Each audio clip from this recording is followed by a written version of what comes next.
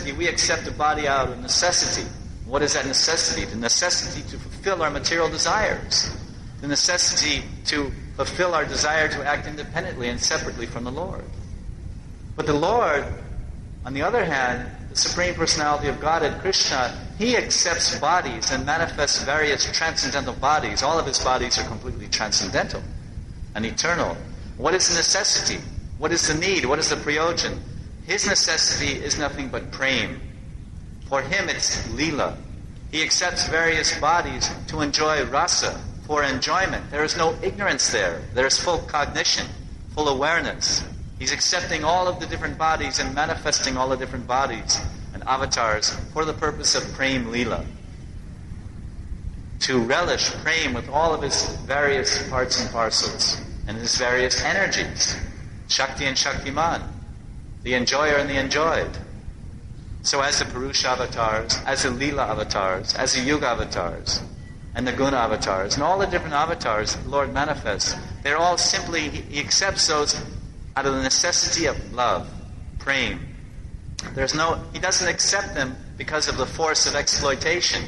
But the conditioned souls, the jivas, they accept bodies, big and small bodies in this world, because of the desire to exploit, the, the desire to be God and to imitate God and exploit the resources of the Lord. But the Lord accepts bodies, various transcendental avatars and incarnations and vigrahas and rupams, Satchidananda Rupams, to exchange in rasa and lila, to give, not to take, to share, not to exploit, to expand, not to contract. This is a this is the Prabhupada was saying when Parikshit wants to know what is the significance? How can we understand something here? So it's a matter of the purpose, the intention. The jiva, the conditioned souls accept the body, the Lord accepts bodies. This is being discussed here. But what is the intention? What is the purpose? Lord Sankarshan, Lord Sankarshan, he within himself he has some desire for some variety of lila. So he goes to the Karna ocean. And Lord Sankarshan goes to the Karna Samudra, and there he manifests a huge form known as Mahavishnu. And it's called Yoga Nidra. Yoga Nidra is where he enters into Swapna Vilas with Lakshmi Devi. Yoga Nidra doesn't mean ignorance. Nidra means sleep. Nidra means sleep for us or ignorance. But Yoga Nidra means in that dreaming state, in that blissful state of happy repose, where Lord Vishnu combines with his eternal consort in divine union or yoga, and Yoga Nidra. And they're floating and relaxing on that wonderful bed of Shesha. I mean, on the wonderful waters of the Karna Samudra and they're engaged in Leela. This is Prem Leela of Mahavishnu and Lakshmi. And while he's enjoying that rapturous, rapturous embrace of Goddess Lakshmi on the Karna Samudra, so many causes come into play from that causal ocean, the Karna Samudra. He is just breathing and relishing the divine Yoga Nidra, intimate prema lingita of his divine eternal devotee and consort, Lakshmi Devi. And from the pores of his body, from the pores of his body, billions and billions of universes are emanating. And then he's thinking, oh, such wonderful thing has happened for my body. Let me also enter. Oh, look what I look what I've created. Like a child, he takes a a, a, mm, a bottle of soap and he stirs it up and he makes bubbles. And he makes he gets a little plastic ring and he sticks it in the soap A little ring like this and you blow it and you make a bubble from the soap and the bubbles go in the air. And you, oh, I created these bubbles. Oh, they're dancing in the rays of the sun and they're shining with different rainbow colors.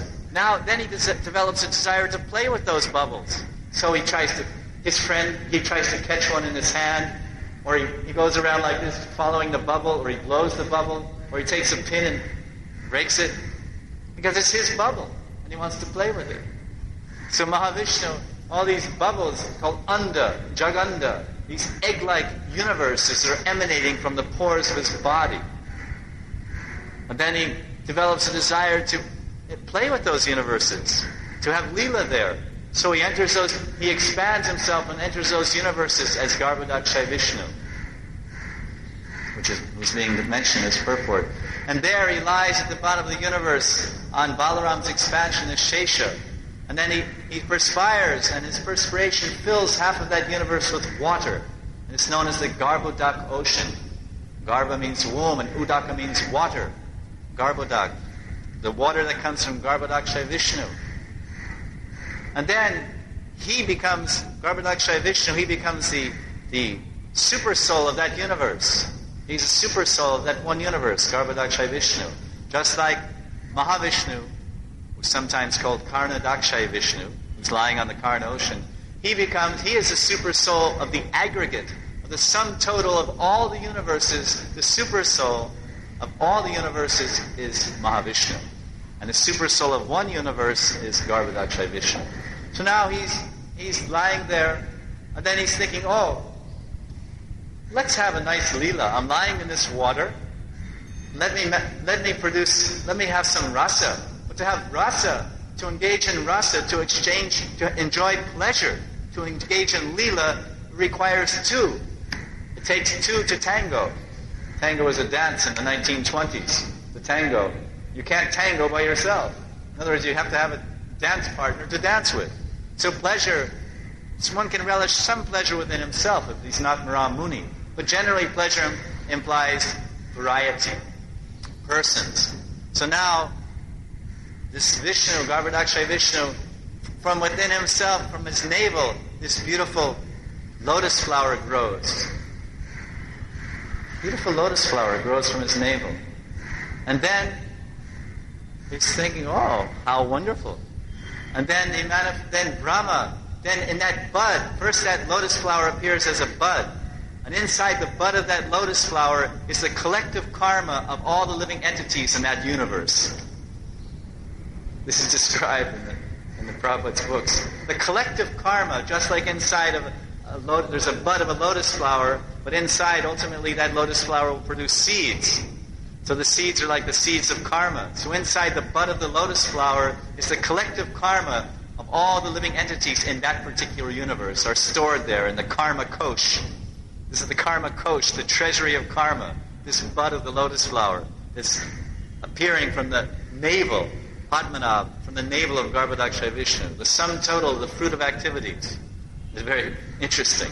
Now, gradually, that lotus flower opens, and as it opens, it illuminates the universe with effulgence, with a jyoti, Padma Jyoti, the effulgence of that lotus flower. And then, and so Garbhodakshay Vishnu say, oh, look at what a nice thing I'm doing. I made this nice lotus flower, and now and I and it has, it has beauty, has function, but ultimately it's all for lila. It's all for lila. He's Purusha avatar. This is a Purusha avatar. There's three Purusha avatars: Mahavishnu, and Garbhodakshay Vishnu, and Kshirodakshay Vishnu. So now, to to increase the rasa, bing, Brahma appears. Lord Brahma. Brahma doesn't know. He doesn't know what to do, or who he is, or where he is. He doesn't understand anything. He's sitting there. So what does he do? He, he goes like this. He goes like this. And he goes like this. And when he looks in four directions to try to understand who he is or where he is, he manifests four heads. That's how Brahma gets his four heads. When he start, when he appeared on the lotus flower, he had one head. But as he turned his glance in four directions, then he attained four heads. A head for the north, the south, the east, and the west. So now he has four heads, and he still doesn't know what's going on. But Brahma has four heads, can't figure out what's going on, even though he can see everything in four directions. Like sometimes we have an expression, you should have eyes in the back of your head. If you have eyes in the back of your head, you could see what's, what's coming up behind you and, and protect yourself from possible danger from the backside. Eyes in the back of your head. He had eyes on all sides. Still, he couldn't figure out what was going on. Understand? So then he began the search. Sounds interesting. The search, the, the pilgrim search. Here he is, a pilgrim, lost in, appearing in the wilderness, darkness all around. He has some mental faculties, an ability to conceive and understand, but he has no answers. He's bewildered. Where to go? Where to turn? So then he begins to search. I must find out who I am. Why am I here? What is the purpose? So the, the appearance of Brahma and his evolution in consciousness and his self his journey of self-discovery. One of our Gurudev's books is entitled "The Journey of Self-Discovery Began." The first journey of self-discovery is being described right now here. It started with Lord Brahma. So we have one head and we think we figured it all out. I know everything, man. I have a PhD.